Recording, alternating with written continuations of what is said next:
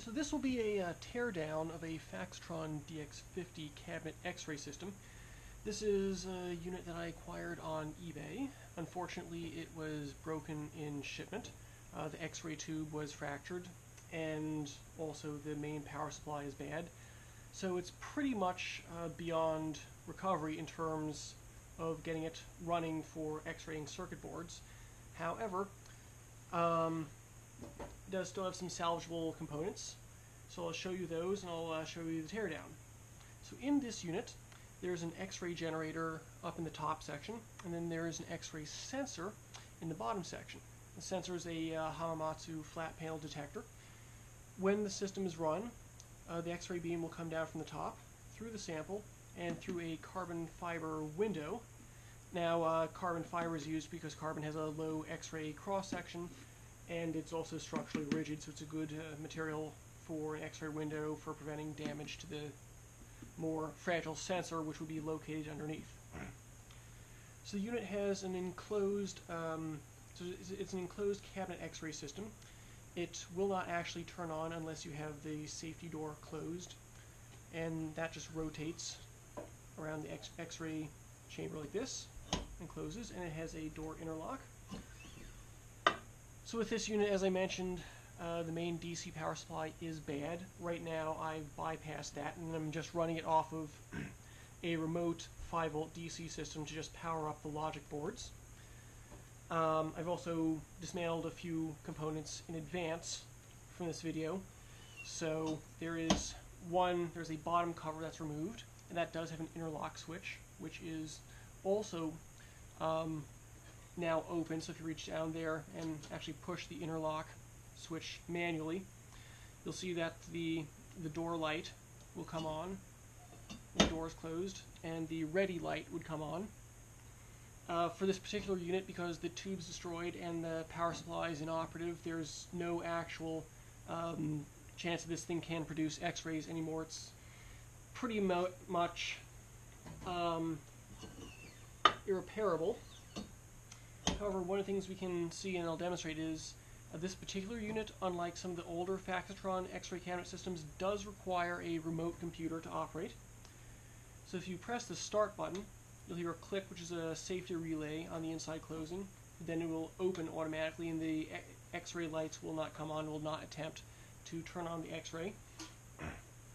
What it's doing is the, the logic control board is sent, it has a serial port in the back, and sending out um, the character um, uh, X uh, requesting for the computer to confirm that it, it can turn the X-ray on and it's ready. The computer will then send back uh, the character C, which will confirm that. The X-ray generator will turn on for the pre, uh, pre-programmed exposure time and at the pre-programmed energy. It'll take the X-ray and then it'll send back a character um, to confirm that the X-ray is complete and then shut down the X-ray generator. You can program the X-ray energy from the front panel uh, from a peak kV of 10 kV to 35 kV. Uh, this is a, a DC excited X-ray tube, not AC excited X-ray tube, so that's a 35 kV DC on the anode. So those are the basic capabilities of this particular unit, and I'll just disconnect this power supply. And now let's have a look at what's inside.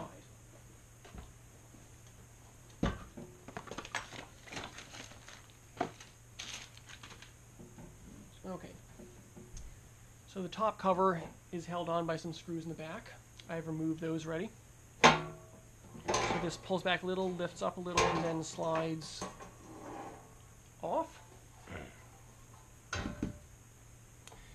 Now inside there is there's several boards. See there, there's the logic control board, which is right behind the front panel. This contains the CPU and sends control signals to the X-ray control board, which is here. This controls filament current, uh, filament emission via the control grid, and also anode voltage, which is which it basically has an analog programming line to this high voltage power supply which runs into the X-ray tube, which is located here. The logic control board is linked to the serial port in the back, and the serial port is uh, here, and then there's a USB port for the sensor. So serial port's located here, and it'll send it, those control characters over the serial port at uh, 9600 baud. Also in the back, here's the main power supply. This is bad on this unit. It has plus 5 volts as well as plus or minus 12 volts, and then it has an adjustable uh, voltage output. I don't know of the don't know the exact voltage that adjustable output is programmed to. Also see in the back it has one of the interlock switches, so can't be powered up unless the back cover is closed. Now, looking inside the X-ray tube enclosure, so this is a steel box. Now, the tube was broken in shipment, so I just left that in there for now.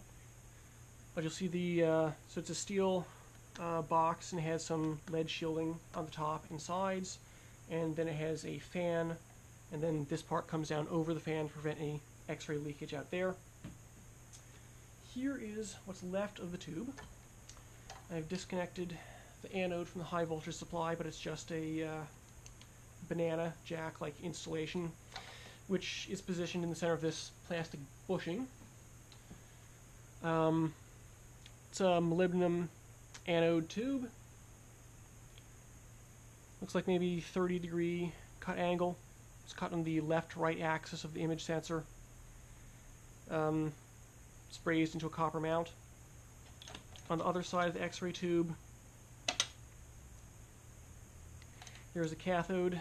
So it's a microfocus tube, so it's a very, very small um, cathode, and then some uh, some electron focusing optics, and then one of and then this is uh, likely in uh, um, one of the control grids, and this can be uh, biased via the control board.